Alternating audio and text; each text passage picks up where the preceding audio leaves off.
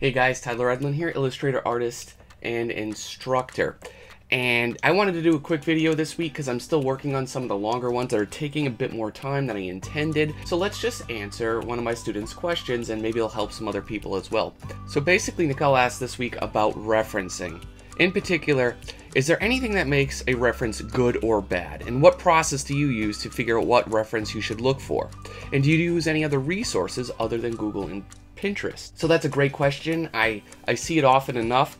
And uh, for me, I think what it comes down to really is, is the reference serving a specific purpose? Is there a reason for spending your time, you know, going to get it, for saving it, for copying it, for filing it in any particular folder or online database, and then bringing it back up, you know, when you're working on an image. Is it worth the effort? And I, I feel it is with a good reference, and if that reference is helping you progress further with a particular image.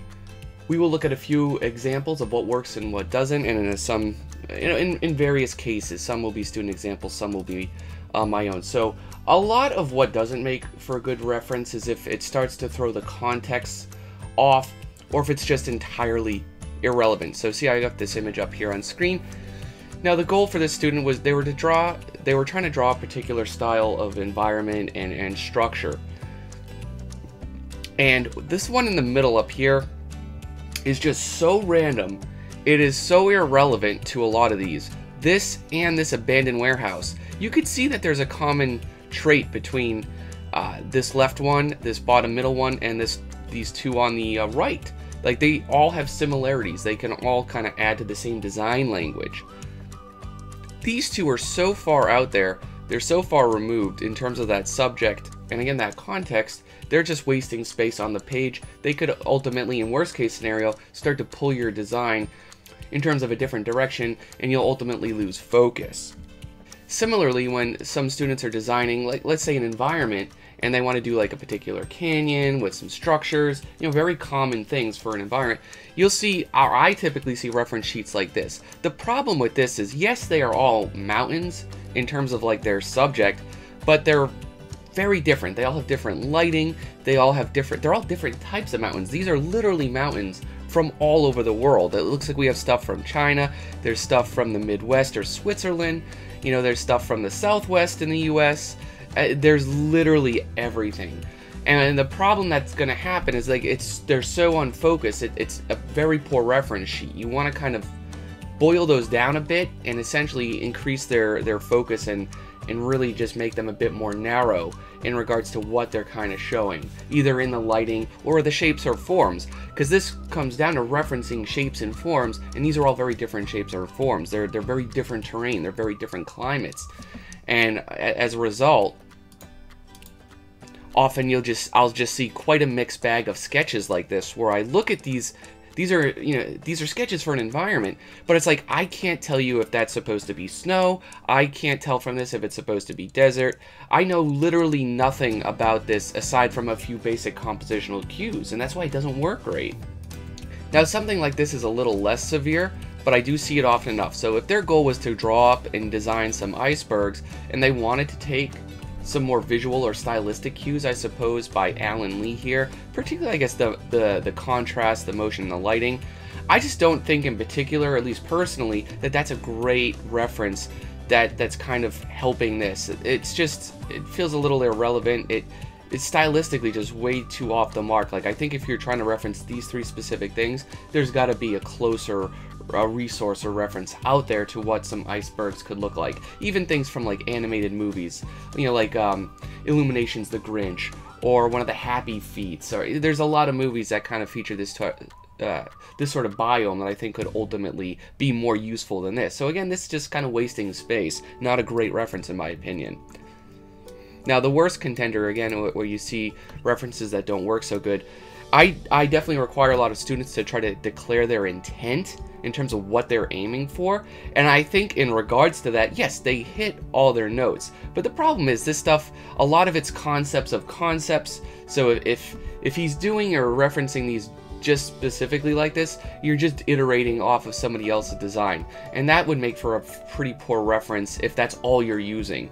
You'd have to balance that out with a lot more real world stuff. But the thing is, these things just don't mix that well. They, they are very unfocused. They are very like they're pulling in many many directions so of course when i see designs like that you, you start to get again here's the intent a dwarven castle in the mountains but sci-fi i'm not saying that's impossible but you'll get something very unrecognizable often enough because they're pulling from so many design languages it everything about this is unfocused it's just like there's not enough real world restraints in there to really make this successful. So again, I, I'd have to transcribe this. I'd have to really look at it and study it to understand it because it's really hard to figure out. And that makes for a poor design.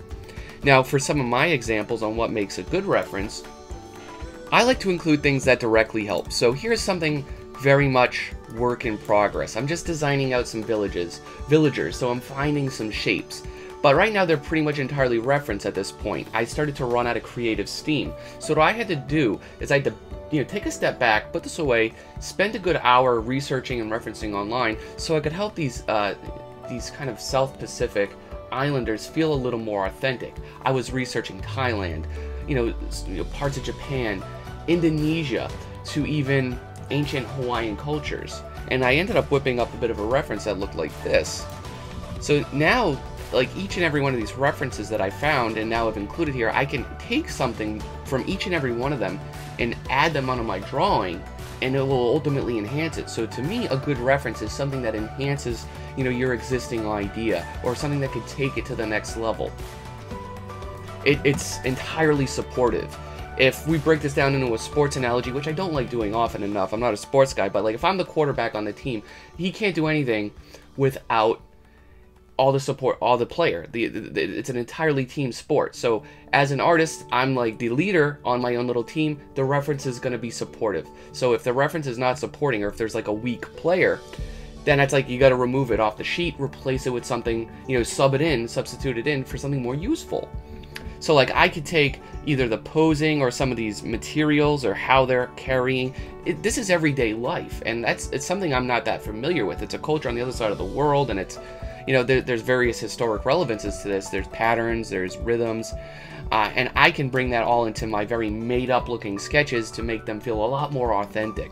Some things need to be just very deliberate references, uh, you know, aside from style and things. So, like, so here's one of my Yakuza illustrations I did for fun, and Referencing has to come in many shapes or forms. So in addition to like using just Google and Pinterest, I'll use 3D. I'll use and pose Daz characters, as you can see here, to pose for the lighting, to pose for the anatomy.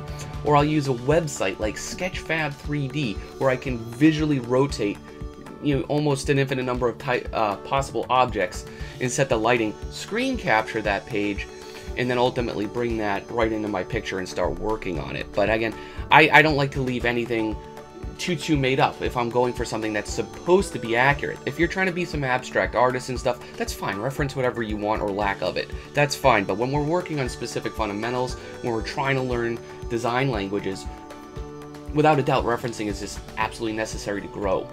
And so I will. I'll, I'll throw my own clothes. I'll, I'll pose family members in various shoes.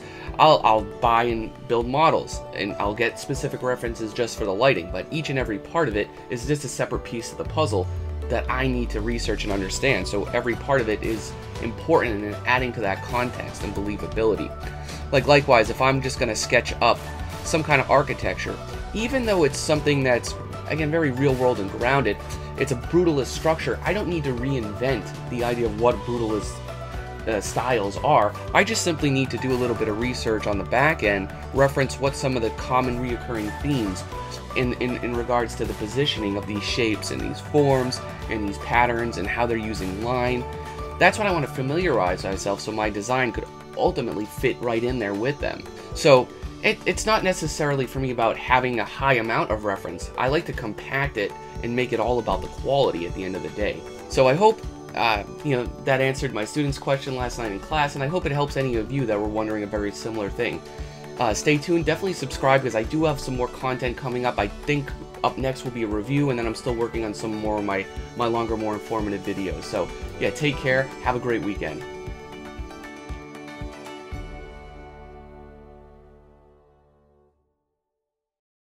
Guys, thanks for watching. Please hit the subscribe if you want to see more.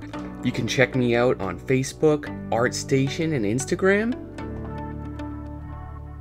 If you want more in-depth content from me, I teach two courses at the CG Master Academy, Architecture Design and Fundamentals of Design.